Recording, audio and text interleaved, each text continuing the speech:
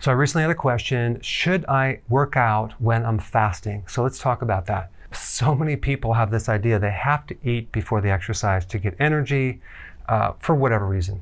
So let's first talk about the three or four variables to exercise. You have the type of exercise, you have the intensity of the exercise, how hard you go, and then the duration, how long you go, and then you have the recovery. So the purpose of exercise is to make you more fit, to increase the health of the system, to build more capacity, more fitness, um, to actually have less stress.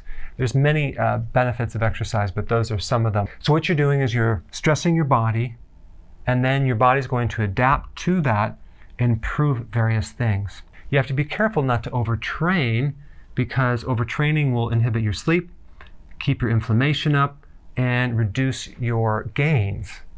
So it's always kind of a, an adjustment of figuring out what your optimum amount of intensity, duration, and recovery is. If you overtrain and let's say you only give yourself uh, a few hours to recover, you know, you're not going to actually see any change.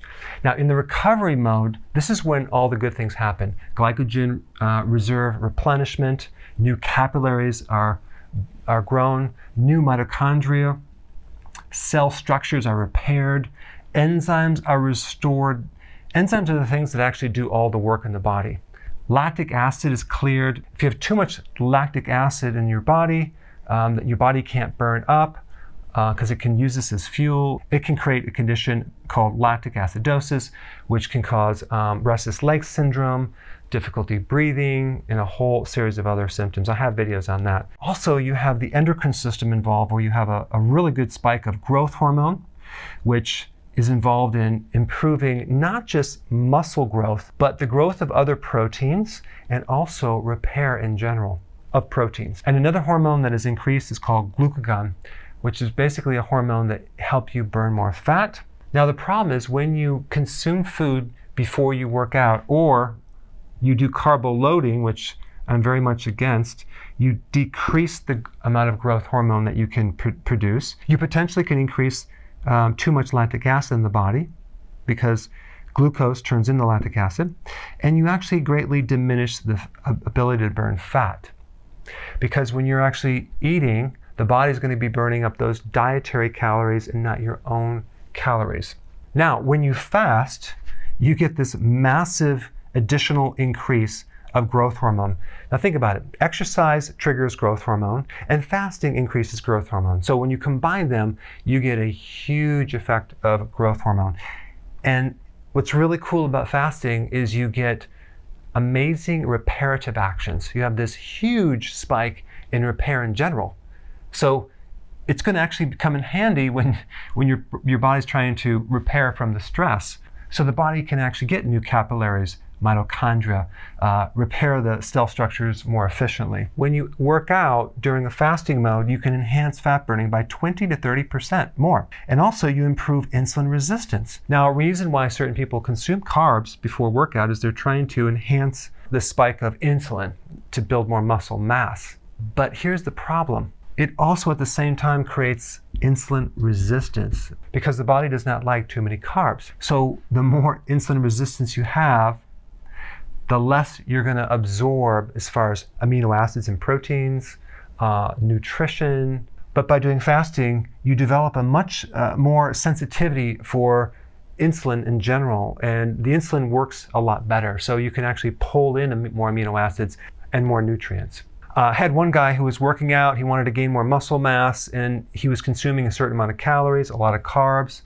Uh, he went on keto intermittent fasting. He lost weight he wanted to then gain more weight.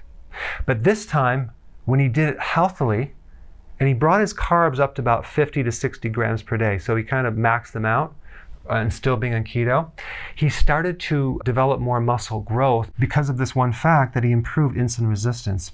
When before he was doing a certain amount of calorie uh, amount, he was he wasn't able to absorb the nutrients and protein. Now, with the same amount of calories, dif- different foods, not having insulin resistance, he was able to start absorbing these uh, nutrients. And that's what created more muscle mass. Now, as far as the type of exercise, this really depends on your recovery. So, if your recovery is poor, you do aerobic exercise, low intensity, walking, um, something real light, and then you build up to more anabolic, which is more like high uh, intensity interval training would be very good. Compound resistance exercise using as many uh, muscles as possible when you're working out, high intensity, that would be very beneficial to maximize your growth hormone. So, in summary, absolutely yes, you want to strive to exercise when you're fasting because there are so many benefits, mainly for the reparative actions. Thanks for watching. Before you go, real quick, I have a course entitled How to Bulletproof Your Immune System. It's a free course. I want you to take it. And here's why. Here's you. Here is your environment.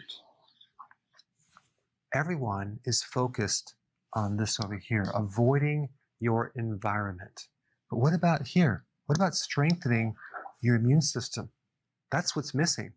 This course will show you how to bulletproof yourself. And so you can tolerate and resist your environment much better by strengthening your own immune system.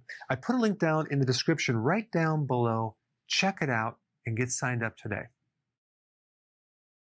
Hey, before